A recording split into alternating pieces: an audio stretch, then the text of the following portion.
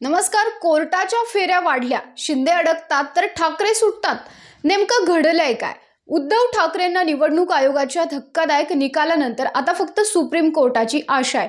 Supreme कोर्टाचा निकाल कधी लागेल हे माहीत नाही आहे मात्र निकाल लागेपर्यंत उद्धव ठाकरेंसाठी दिलासाची गोष्ट म्हणजे अंधेरी पोटनिवडणुकीसाठी केंद्रीय निवडणूक आयोगानं पक्षाला दिलेलं नाव आणि चिन्ह. सुप्रीम कोर्टाचा निकाल येईपर्यंत वापरता येणार आहे. सुप्रीम कोर्टाचा निकाल येण्याआधीच उद्धव ठाकरे यांना पुन्हा नव्या चिन्हाच्या आव्हानाला सामोरं जावं लागेल का अशी चर्चा सुरू होती. मात्र ठाकरे यांना या प्रकरणामध्ये तात्पुरता दिलासा मिळालाय. मात्र सुप्रीम कोर्टाचा निकाल ठाकरेंच्या विरोधात गेला तर उद्धव ठाकरे गटाला मोठा धक्का बसण्याची शक्यता आहे. निकाल ठाकरेंच्या विरोधामध्ये गेल्यावर नेमकं काय होईल यावरतीच ज्येष्ठ घटनातज्ञ उल्हास बापट यांनी आपलं मत मांडलंय. निकाल विरोधामध्ये गेला तर ठाकरेंसमोर दोन पर्याय आहेत. पहिला पर्याय ठाकरे गटाला निकालाविरोधात पुनर्विचार याचिका दाखल करून दाद मागता येऊ शकते. आणि दुसरं म्हणजे निवडणूक आयोगामध्ये जाऊन नवीन पक्षाचं नाव नवीन चिन्ह घेऊन निवडणुकांना सामोरं जाणं हा एक देखील मार्ग ठाकरे गटासमोर असू शकतो. आता तुर्तास तरी उद्धव ठाकरेंसाठी दिलासाच आहे. ठाकरे गटाचे वकील कपिल सिब्बल यांनी भक्कमपणे ठाकरेंची बाजू कोर्टामध्ये मांडलेली आहे. राज्यपालांची भूमिका कशी चूक होती हे दाखवून देण्याचा प्रयत्न केलाय. तर कर्नाटकमधील बोंबई प्रकरण आणि अरुणाचल प्रदेशमधील नबाब रेबिया केसचा दाखलाही दिलाय.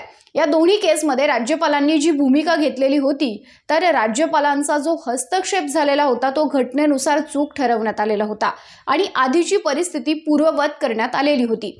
हे दोनही दाखले आणि महाराष्ट्राचं प्रकरण यामध्ये अगदी काहीसा फरक आहे. उद्धव ठाकरेंनी जर मुख्यमंत्री पदाचा राजीनामा दिलेला नसता तर कदाचित या केसमधील गुंता कधीच सुटला असता. मात्र उद्धव ठाकरेंनी राजीनामा दिला ही चूक ठरली. त्यामुळे निकाल फिरूही शकतो. या प्रकरणामध्ये दहावी सूची सुद्धा खूप महत्वाची आहे. कारण भारतीय घटनेनुसार शिंदे गटानं दहाव्या सूचीचं उल्लंघन केलेलं आहे. असाही दावा ठाकरे गटाच्या वकिलांनी केलाय. त्यामुळे दहाव्या सूचीला महत्त्व आहे. आता या प्रकरणामध्ये भारताचे सरन्यायाधीश डी वाय चंद्रचूड यांनी सुद्धा राज्यपालांच्या भूमिकेवरती प्रश्न उपस्थित केलेले आहेत. फूट झाल्यानंतर ज्या लोकांनी फूट पाडली ते कदाचित पक्षात राहतील किंवा बाहेर पडतील.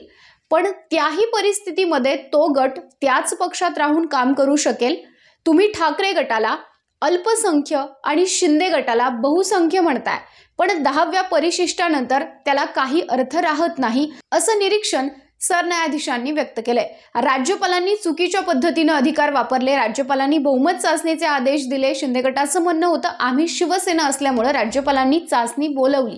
ठाकरे गट म्हटला की बंडखोर गटाच्या सांगण्यावरून राज्यपाल बहुमत चाचणी कशी बोलवू शकतात म्हणून त्यांनी राज्यपालांच्या चाचणीलाही आव्हान दिलं. नंतर राहुल नार्वेकर विधानसभा अध्यक्ष बनले पण अपात्रतेची नोटीस असलेल्या आमदारांनी विधानसभा अध्यक्ष कसा नेमला म्हणून ठाकरे गटानं नार्वेकरांच्याही नियुक्तीला चॅलेंज दिलं. हे सारं मॅटर कोर्टामध्ये असताना इकडे निवडणूक आयोगानं मात्र शिंदे गटाला शिवसेना म्हणून घोषित केलं. नंतर पुन्हा निवडणूक आयोगाचा तो निर्णय कोर्टामध्ये गेला. इतके सारे पैलू या केसमध्ये आहेत. आता कुणाचं पितळ उघडं पडणार हे फक्त सुप्रीम कोर्टाचा निकालच सांगू शकतो.